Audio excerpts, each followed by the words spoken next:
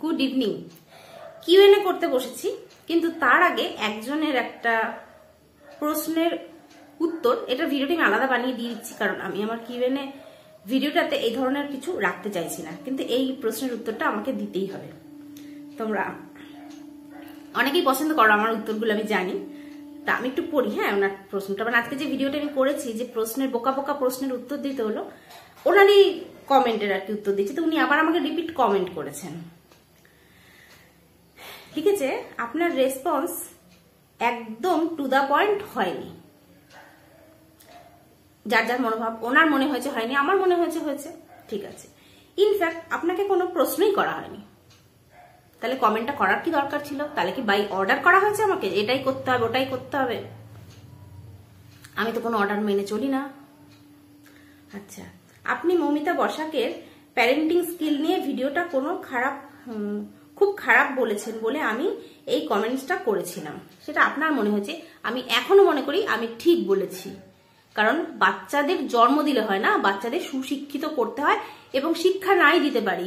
যদি ডাল ভাতও খাওয়াই, নুন ভাতও খাওয়াই, আমার বাচ্চাকে আমি আমার কাছেই রাখব। এটা হচ্ছে আমার পয়েন্ট অফ ভিউ এটা আমি মনে করি। এটা আমি একটা মায়ের নৈতিক দায়িত্ব বলে মনে করি। এখনও মনে করি, আগামী দিনেও মনে করব। আচ্ছা তারপরে কি বলছেন? আচ্ছা বেশি কিছু প্রশ্ন ছিল না আমাদের অবজারভেশন ছিল। আমাদের। আর কে কে আছে আপনাদের সাথে? আপনার সাথে আর কে কে আছে? সেটা আমি বুঝতে পেরেছি। আমি অতটা বোকা নই। আচ্ছা। অবজারভেশন ছিল। আপনি যেমন অন্যের ব্লগ দেখে অবজার্ভ করে তাদের গায়ে পড়ে উপদেশ দিতে যান, আমার কমেন্টটা আমি দিয়ে দিলাম বাকিদের পড়ার জন্য। আচ্ছা তোমরা যারা যারা পড়নি ওনার নাম হচ্ছে হাসনুহানা ওনার কমেন্টটা প্লিজ একটু পড়ে নেবেন। কারণ উনি খুব কষ্ট করে এই কমেন্টটা করে তো এত বড় বড় কমেন্ট করে, খুব কষ্ট করে করে। সুতরাং আপনারা যদি না পড়েন, উনি খুব কষ্ট পাবেন। প্লিজ হাসনুহানার কমেন্ট একটু পড়ে নেবেন। আর তার সাথে আমার উত্তরটাও দেখে নেবেন যে ঠিক আছে কি নেই। আচ্ছা এবার বলছে, আপনি একেবারে, আপনি এবার একটু বাড়াবাড়ি করে ফেলেছেন কাকুলি। সেটাও আপনার মনে হয়, আমার মনে হয় না আমি কোনো বাড়াবাড়ি করেছি। মনে হয়নি। আপনার কোনো রাইট নেই অন্যের প্যারেন্টিং চয়েস নিয়ে কথা বলার। আপনারও নেই। আমি যখন কাউকে চোর বলি, তারপর যদি নিজেও চুরি করি, তাহলে তফাতটা কি রইল? আপনি নিজের উপর কনসেন্ট্রেট করুন, সেটা আমার সমস্যা। আমি নিজের উপর কনসেন্ট্রেট করব, নাকি পাড়া প্রতিবেশীর উপর কনসেন্ট্রেট করব, সেটা সম্পূর্ণ আমার ব্যাপার। আমি আপনারটা খাইও না, আপনারটা পড়িও না। সুতরাং আপনার এই উপদেশটা আপনি আপনার কাছে রেখে দিন, ঠিক আছে? আচ্ছা আপনি নিজে পালিয়ে বিয়ে করেছেন বেশ করেছি। আমি একজনের সাথে পালিয়ে বিয়ে করেছি। আমি চার চারটে বিয়ে করে বসে নেই, ঠিক আছে? আর আমি কারোর বরকে নিয়েও পালিয়ে বিয়ে করিনি।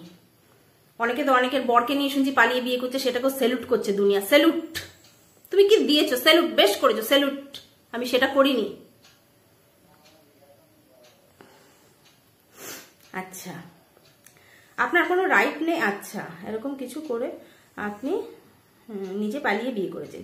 হাজব্যান্ড তেমন কিছু করেন না। আপনি কি করে জানেন না আমার হাজব্যান্ড তেমন কিছু করেন, কি করেন? না আমি আপনাকে কানে কানে বলে এসেছি, নাকি আমার হাজব্যান্ড আপনাকে গিয়ে বলে এসছে যে আমি তেমন কিছু তো করি না?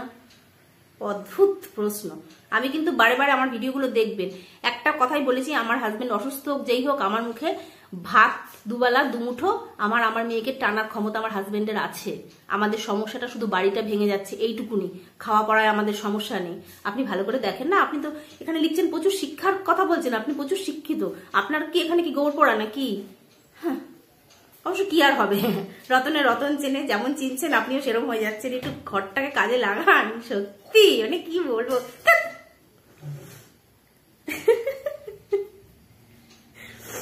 আচ্ছা।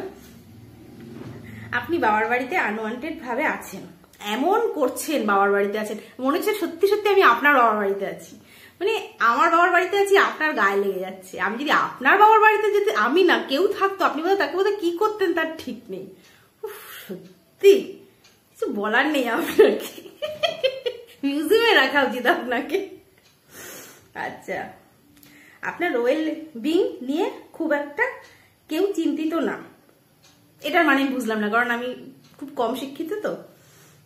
তাই আপনি ইউটিউবে এসেছেন যেভাবে হোক পয়সা রোজগার করতে। সবাই আসে। আমরা যারা ইউটিউবে এসেছি, আপনার কি মনে হয়, কেউ খেতে পায় না? সবার বড় বড় বিজনেস আছে, কারোর চাকরি আছে, অনেক কিছু আছে। তারপরে সে ইউটিউবে এসছে। কেউ পয়সার জন্য এসেছে, যেমন আমি অবশ্যই পয়সার জন্য এসেছি। কেউ ফেম তৈরি করতে এসেছে, কেউ নিজের পরিচিতি ঘটাতে এসেছে। আমি এখানে এসেছি এটার জন্যে পয়সা।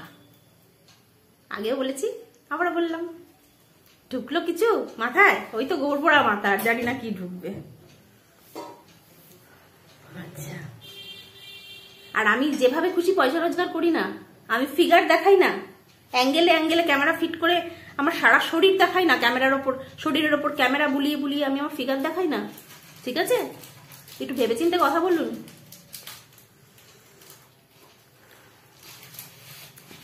আচ্ছা। নিজে কোনো কোয়ালিফিকেশন নেই। সেটা করার জন্য। নাকি কোনো কোয়ালিফিকেশন নেই শেখা সেটা করার জন্য? আপনাকে তো বারে বারে বলেছি কোয়ালিফিকেশন নেই। আপনাকে কেন? সবাইকে বলেছি। বলিনি? এখানে কমেন্ট করবে নিচে। আমি কোন দিন বলেছি? আমি প্রচুর শিক্ষিত। বলেছি কি? বলিনি কিন্তু আমি। আচ্ছা আর কি লিখেছেন? সেটা করার জন্য। আপনাকে কে রাইট দিয়েছে? গায়ে পড়ে লোককে অ্যাডভাইস দিতে। আপনাকে কে রাইট দিয়েছে? আপনাকে কে রাইট দিয়েছে গায়ে পড়ে ইসে দেওয়ার জন্য, নাকি সেটা একমাত্র আপনারই আছে অধিকার? মানুষের গায়ে পড়ে পড়ে, মানুষের চ্যানেলে ঢুকে ঢুকে। আমি যা বলেছি, যা করেছি, আমার চ্যানেলে ঢুকে করেছি, ঠিক আছে? ওই ইসের মতন পরের চ্যানেলে গিয়ে ঘেউ ঘেউ করিনি। আমি ওর চ্যানেলে গিয়েও কিছু বলতে যাইনি। যেটা বলেছি, আমার চ্যানেলে বলেছি।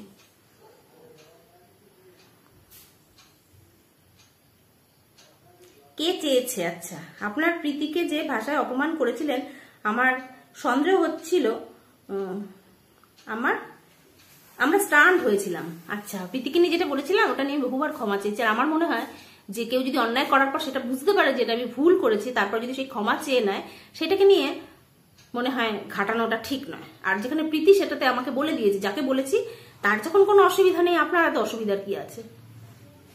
যার বিয়ে তার হুশ নেই, পাড়াপড়শির ঘুম নেই। ব্যাপারটা সেরকম হয়ে গেল না? আচ্ছা। চারিদিকে ঝড় উঠেছিল আপনার এগেনস্টে আপনিও ছিলেন বুঝি? ভালো। বারবার নিজেকে ঝামেলায় ফেলেছেন আর বন্নি আপনাকে টেনে তুলেছে। বন্নি আমাকে টেনে তুলেছে? না, কি করেছে সেটা খুব, বন্নি খুব ভালো করে জানে, আর বন্নিকে নিয়ে আমি এখানে কথা বলতে চাইনি। বন্নির যদি কিছু বক্তব্য থাকে বন্নি তো আপনাকে পয়সা দিয়ে রাখেনি বন্নির হয়ে বলার জন্য? বন্নি বলবে, বন্নির চ্যানেলে বা আমাকে ফোনে ওর সাথে আমার সম্পর্ক যথেষ্ট ভালো আছে এখনও। তারপরে যদি মনে হয় বন্নির কিছু বলতে হবে, বন্নি যদি মনে করে আমাকে ফোনে বলবে বা মেসেঞ্জারে বলবে, আমি সেই উত্তরটাকে ওখানে দেবো, আর যদি মনে করে এখানে বলবে, এই উত্তরটাও আমার তৈরি আছে এখানে বলার জন্য। সুতরাং বন্নির সাথে আমার ব্যাপারটা আমাদের মধ্যে রেখে দিন। আপনি মাঝখানে ঢোকার দরকার নেই আপনাকে। কারণ আমি যদি বলি বন্নি কোথা থেকে কি শুরু, তাহলে অনেক কিছু হয়ে যাবে। তার মধ্যে হয়তো অনেকের কাপড় চোপড়ও খুলে যেতে পারে। আমি চাই না সেটা। আর আমার কাছে সমস্ত কিছু স্ক্রিনশট আছে। কে কার নামে কি বলেছে আর কি হয়েছে, কোথা থেকে কি হয়েছে, ঠিক আছে? সুতরাং বেশি আমাকে ঘাটানোর দরকার নেই। চুপ আছি, চুপ থাকতে দিন।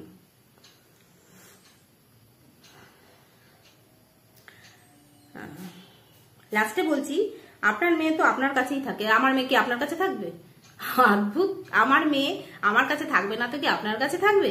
আমার কাছেই তো থাকে। অ্যাটলিস্ট আমি অন্য কোথাও রেখে দিয়ে তো মানে ইস্যু করছি না যে না, আসতে চাইছে না, দিচ্ছে না, আসতে। আমি তো আনতে চাই কিন্তু পাচ্ছি না। বা দুটো ক্যাডবেরি চকলেট জামা কাপড় ফোন দিয়ে দায়িত্ব সেরে দিচ্ছি না, নিজের কাছেই রাখছি। একটু বুঝে কথা বলুন। আবারও বলছি। আচ্ছা। তাকে কি ভালোভাবে মানুষ করছেন, সেটা আপনি কি করে জানলেন? আমি ভালোভাবে মানুষ করছি কিনা আপনার ছেলে মেয়ে আছে? কীরকম মানুষ করেছেন তাদের? আমি প্রশ্নটা আপনাকে করছি, উত্তরটা দেবেন।